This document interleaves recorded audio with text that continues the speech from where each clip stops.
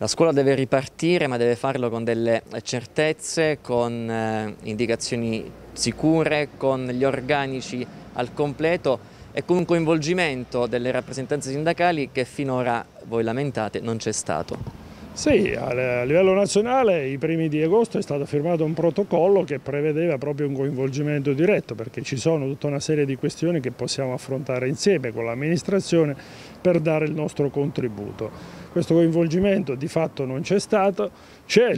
certamente uno sforzo di carattere finanziario per affrontare le emergenze che riguardano la scuola, però queste emergenze si affrontano meglio se c'è il coinvolgimento complessivo. Noi insistiamo su questo versante, eh, non basta soltanto ragionare sugli arredi e sugli spazi che è determinante come questione, bisogna ragionare invece sugli organici e quindi ampliare la, la sfera degli organici per consentire alle scuole di poter sdoppiare, di poter costituire gruppi classi diversi, di poter presidiare meglio anche le istituzioni scolastiche, quindi ci sono una serie di cose che si possono fare e si debbono fare per garantire la sicurezza. Poi c'è un altro aspetto che riguarda il ruolo che i nostri, per esempio RLS, che sono i rappresentanti di sicurezza, devono avere all'interno delle istituzioni scolastiche. Loro sono coloro che fanno da tramite tra i lavoratori e il datore di lavoro, devono essere coinvolti. Siamo a conoscenza che invece c'è pochissimo loro coinvolgimento. Sarebbe un elemento aggiuntivo che consentirebbe,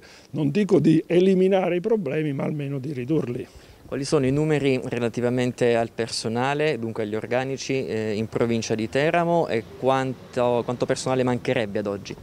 Beh, noi abbiamo una situazione di questo genere, su oltre 39.000 alunni abbiamo un organico tra docenti e data poco superiore alle, alle 5.000 unità e considerando che eh, bisogna sdoppiare classi, bisogna presidiare meglio eh, la vigilanza all'interno delle scuole, c'è sicuramente bisogno di più personale almeno 500-600 unità in più rispetto a quelle che sono previste il finanziamento Covid che arriverebbero massimo a 190.